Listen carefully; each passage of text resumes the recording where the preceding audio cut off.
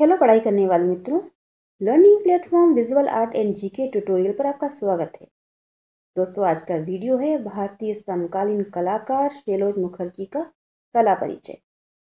अगर आपको ये वीडियो पसंद आता है, ये जानकारी आपको महत्वपूर्ण लगती है तो आप इस वीडियो पर कमेंट कीजिएगा, लाइक कीजिएगा, और अगर अभी तक इस चैनल से नहीं जुड़े हैं और आप किसी भी कला परीक्षा की तैयारी कर रहे हैं तो चैनल जुड़ने के लिए सब्सक्राइब करके बेल आइकन ज़रूर प्रेस कर दीजिए। आइए देखते हैं शैलोज मुखर्जी का कला परिचय।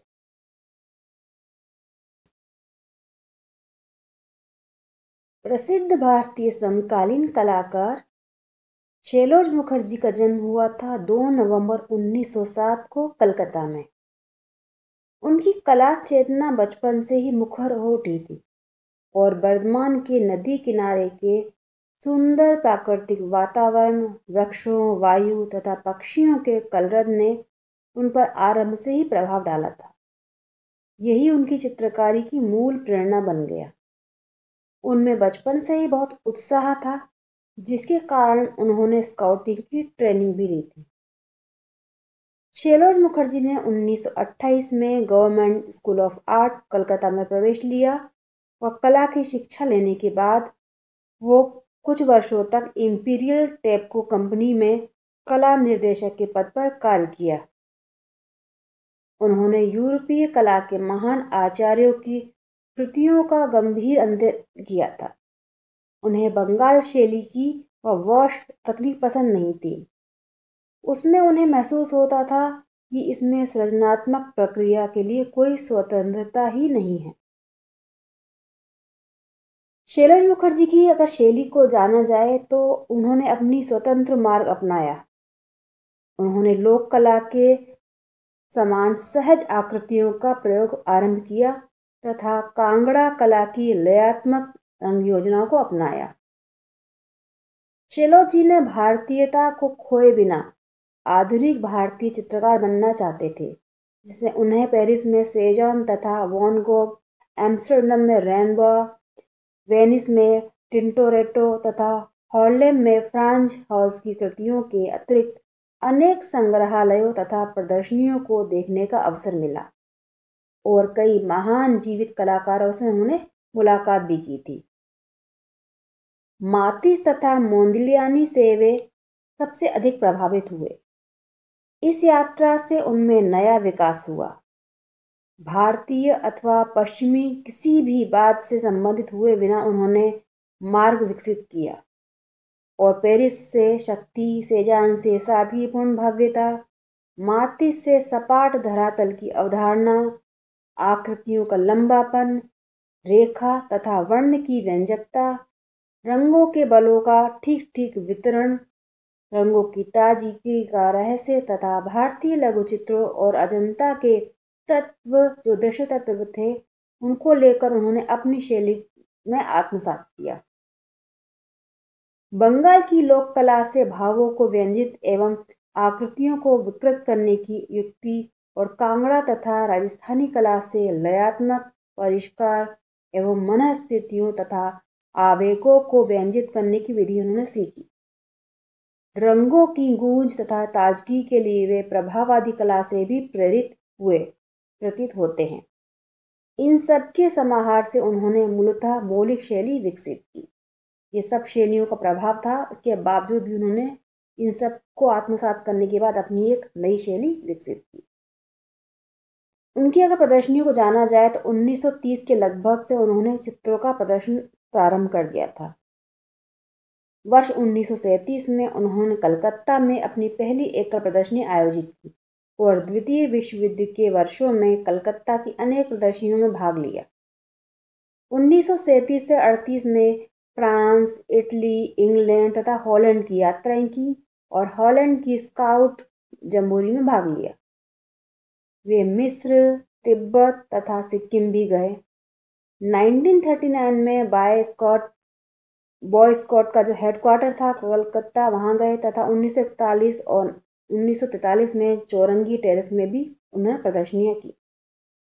1940 से 44 के मध्य उन्होंने निश्चित एवं सीमित रंग योजनाओं, ताज़ा और मुखर चित्रण पद्धति तथा तरंगातिक तकनीक में भारतीय जन जीवन का उन्होंने उपयुक्त दृष्टिकोण से अंकन किया। इन चित्रों की बहुत प्रशंसा हुई और उन्हें अनेक पुरस्कार भी प्राप्त हुए।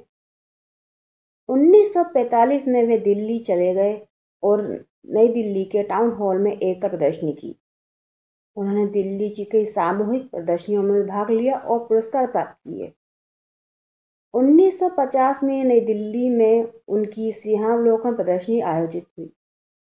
उन्नीस सौ इक्यावन की पेरिस प्रदर्शनी में उनकी दो कृतियाँ सेलोदमाई में सम्मिश्रित की गई। ये प्रदर्शनी का नाम था जहाँ उनकी प्रदर्शनियाँ सम्मिलित हुई। जहाँ उनके चित्र सम्मिलित किए गए उन्नीस में, पेरिस में। शेलोस ने दिसंबर 1944 में दिल्ली के Sharda Ukil School of Art में कला शिक्षा के पद पर कार्य करना प्रारंभ किया। इसके साथ साथ देश के अनेक भागों में वे प्रदर्शनियाँ आयोजित करते रहे। उन्हें अनेक उत्तम पुरस्कार भी प्राप्त हुए। एक बार लंदन गए तथा दो बार पेरिस में प्रदर्शनियों के द्वारा उन्हें बहुत प्रसिद्धि मिली। पेरिस में यूनेस्को के तत्वाधान में आधुनिक कला की अंतर्राष्ट्रीय प्रदर्शनी में उन्नीस सौ सैंतालीस में उनके चित्र भी प्रदर्शित किए गए थे। भारत की तुलना में शेलोज को विदेशों में अधिक ख्याति मिली। अंतर्राष्ट्रीय स्तर पर मान्य पेरिस की सेलो द माई जो प्रदर्शनी हुई उन्नीस सौ बावन में उसके सदस्य बना दिए गए। वहाँ उन्हें अपनी कलाकृतियाँ प्रदर्शित करने का सुअवसर मिला। जहाँ विश्व विख्यात कलाकारों, पिकासो रोतो, लेजे आदि कृतियाँ प्रदर्शित हुई हैं। इसके अतिरिक्त अंतर्राष्ट्रीय कला आलोचकों ने उनकी बुरी बुरी प्रशंसा की है। उनकी प्रशंसात्मक आलोचनाएँ एवं चित्र, बोजार, जो कि पेरिस में है, Asiatica, Rome, Arts and Letters, London, The Studio, London, The World Review, London तथा ईस्ट एंड वेस्ट में प्रकाशित हुई। लगभग इसी समय उन्होंने दिल्ली पॉलिटेक्निक के कला विभाग में नौकरी कर ली थी। 1958 की राष्ट्रीय कला प्रदर्शनी में वे निर्णायक समिति के सदस्य भी रहे। वे बोहेमियन स्वभाव के एक सच्चे कलाकार थे। उनके चित्र विषय थे कि वे बिना परंपरागत रूपों की अनुकृति किए चित्र निर्मित किए उन्होंने, जिसमें भारतीय आत्मा है। उनके विश्व परंपरागत, शास्त्रीय या साहित्यिक नहीं है। प्रतिपल स्पंदन करते हुए दैनिक जीवन को ही उन्होंने चित्रित किया है। अपनी रोज़मर्रा की ज़िंदगी जीते हुए, लंबे नर नारी, प्रकृति के बदलते हुए रूप और पशु पक्षी उन्होंने अंकित किए हैं। खुली धूप और सरसराती हवा का भारतीय वातावरण उनके चित्रों में अनुभव किया जा सकता है। माते से प्रेरित होते हुए भी उनकी सारी नारी आकृतियाँ पूर्णतः भारतीय हैं। मार्ग के श्रमिक क्रीड़ा करते पशु भीड़ भाड़ अथवा संगीतज्ञ आदि भी भारतीय वातावरण से जुड़े हुए चित्रित किए गए हैं। उन्होंने शास्त्रीय विषयों से परहेज नहीं किया और उन्हें भी वे मौलिक विधि से चित्रित करते थे। जैसे कि पेरिस में अंकित चुंबन शीर्षक चित्र खजुराहों कोणार्क का आधुनिक सफल संस्करण है। उन्होंने स्थिर जीवन तथा व्यक्ति चित्रों का भी अंकन किया है। विश्राम आदि के दृश्यों का संयोजन राजपूत पद्धति पर है, किंतु शैली पूर्णतः मौलिक है। उनका बोर शीर्षक चित्र कांगड़ा शैली तथा लोक कला की भावना से समन्वय का सुंदर उदाहरण है। उनके सभी चित्र स्पष्ट और समझ में आने वाले हैं। उनमें व्यंग, हर्ष अथवा रोमांस की भावना भी है। शेलो जी ने तेल रंगों का व्यंजक एवं लयात्मक रेखा के साथ अद्भुत सामंजस्य किया है। उन्होंने आकृतियों की गणनशीलता यद्यपि उनकी अप्राकृतिक है, तथापि मन स्थितियों, उत्तेजनाओं, आंतरिक उत्साह एवं गतिपूर्ण क्रियाकलापों की व्यंजक है। कला को महान बनाने वाली सभी विशेषताएँ उसमें मौजूद हैं। कुछ आलोचकों ने उन्हें पेरिस की उत्पत्ति बताया है, पर यह उन पर मिथ्या आरोप है। संसार का कोई भी महान कलाकार ऐसा नहीं है जिसने कहीं ना कहीं किसी न किसी से प्रेरणा न ली हो। अपने निर्माण काल में प्रत्येक कलाकार प्रेरणा लेता है। शेलो जी जब केवल प्रबल इच्छा होने पर ही चित्र बनाते थे। उनके मन में एक आवेग, एक उत्तेज उत्तेजना सी होती थी और वे तुरंत चित्रांकन करने लगते थे।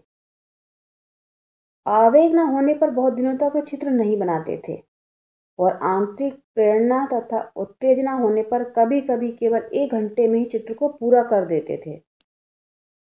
यह कहा जा सकता है कि शैलो जी ने कोई परंपरा स्थापित नहीं की है और उनका कोई अनुयायी नहीं है। सच तो यह है कि उनके समान चित्रण कोई कर ही नहीं पाया। जिन्होंने प्रयत्न भी किया वे असफल रहे। इसी से शैलो जी की अद्वितीय सिद्ध होती है। धन के लालच में उन्हें कभी काम करने को प्रेरित नहीं किया गया। उनके जो मेघावी छात्र थे उनमें राम कुमार जी प्रमुख नाम हैं।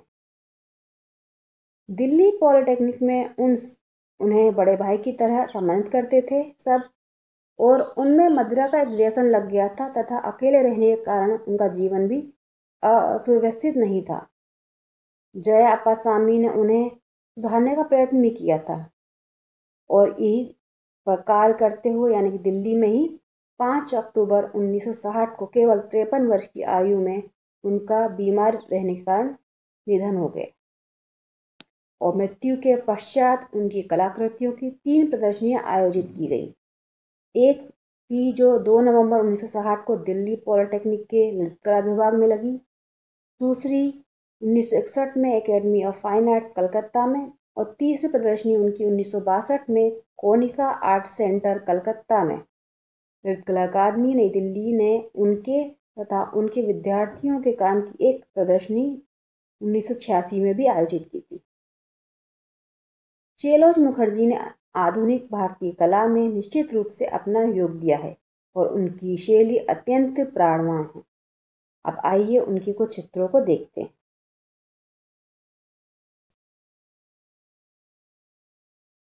ये हैं शैलोज मुखर्जी के बनाए हुए चित्र। रंग, तकनीक को देखकर आप अंदाज़ा लगा सकते हैं कि पूरे भारतीय शैली पर आधारित है। ये National Gallery of Modern Art में है। माँ और शिशु उनका चित्र।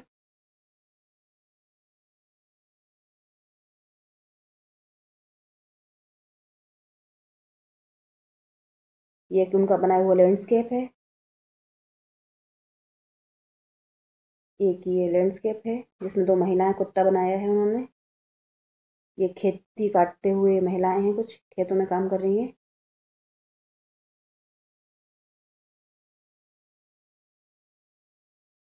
ये नदी के किनारे दो महिलाएँ बनाई हैं उन्होंने। ये एक लैंडस्केप है उनका। ये चित्र है जिसे कि बीरेन डे ने बनाया था। ये उनका पोर्ट्रेट है, शैलोज मुखर्जी का पोर्ट्रेट जो कि बीरेन डे ने बनाया था। ये उनका चित्र National Gallery of Modern Art में संग्रहित है। ये चित्र भी एक मृदंग बजा रहा है, एक महिला नृत्य कर रही है, National Gallery of Modern Art में है।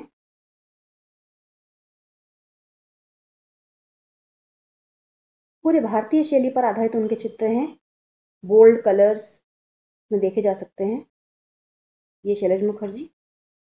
तो दोस्तों, ये था कला परिचय, भारतीय समकालीन प्रसिद्ध चित्रकार शैलज मुखर्जी का। अगर आपको ये वीडियो पसंद आया है तो लाइक कीजिए, शेयर कीजिए और कमेंट्स करके बताइएगा।